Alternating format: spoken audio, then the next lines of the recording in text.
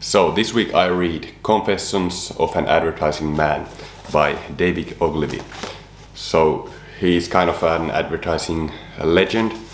Uh, you probably know him if you're interested in advertising. And so this book is like his guide to other people who want to be like advertising men. Now I'm not planning uh, to anytime soon start like an advertising agency, but I do. Um, I'm interested in like using advertising strategies with my ClickFunnels account and so on, internet marketing.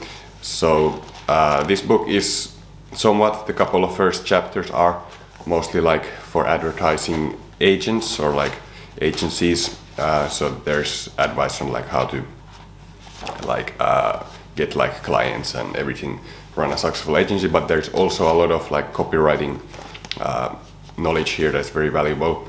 So he's definitely a great guy to learn advertising from. But so let's summarize the best five ideas. And before we start, I just want to mention that in the description there is a link to bookdepository.com. You can order pretty much any book from there with free shipping worldwide.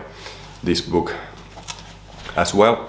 And so yeah, that's a great way to support support this channel by shopping your books from that link below. It's normal price, everything. They will just pay me a refer like referral fee as I referred you to them.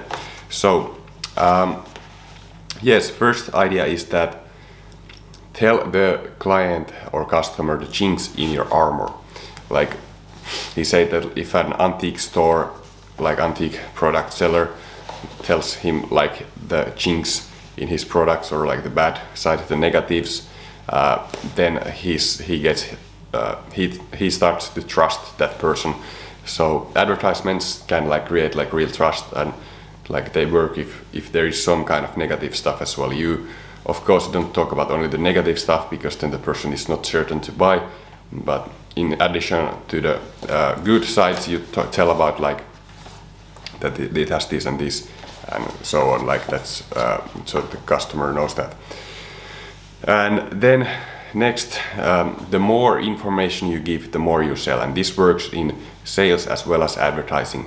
So the more people, uh, the more information as a salesperson you can give to the customer, the more you can sell, the more certain they become. And the same with copywriting and advertising. You want long copy with much information about the product.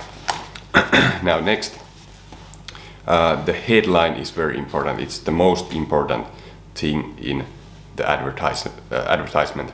So if they are not going to read the headline, they are not going to read the copy either, and you're going nowhere. So you need to choose those words and the headline very carefully. And um, so yeah, that's that's really really important. Uh, I think he said that like if you just change the headline, you can increase the sales of a company by 10 times if you have a better headline. And then next is that the most powerful words to use in advertising are free and new.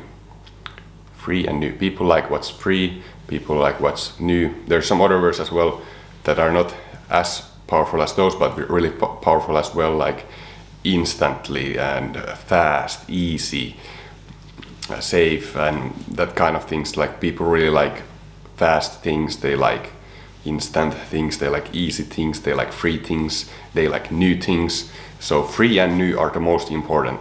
And free is harder sometimes to have in your headline because your products are not usually free, but unless you have like some free offer or something. But new is easier to get there if you, you can almost always get new in your headline if you just think hard enough. And then lastly, number five idea is that um, you want to be writing your copy as if you had like you were at the dinner table and there was a woman sitting next to you and she said that uh, she's going to buy a new car and she's asking you for advice like what would you recommend? What car should i buy? And then you write your copy like it would be the answer to that question. You write like you copy that way uh, like a recommendation. So those are my favorite five ideas from this book. Already from the link below also subscribe to this channel if you haven't yet and hit thumbs up if this was helpful. I'll see you in the next video.